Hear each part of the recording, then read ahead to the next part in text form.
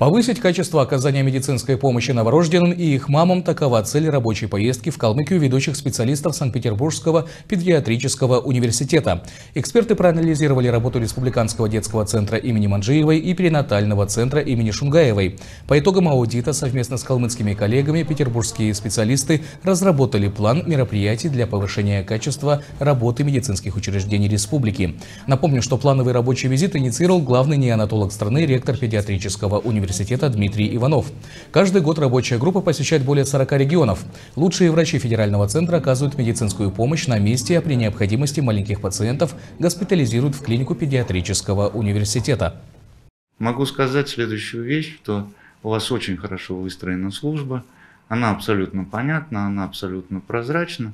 Но, как в каждом учреждении, в каждом регионе есть свои особенности – вот именно эти особенности мы и обсудим. Каждый ребенок в нашей стране на вес золота. И э, не только его жизнь, но и качество его жизни э, находится в руках очень хороших специалистов вашей, э, в вашем регионе.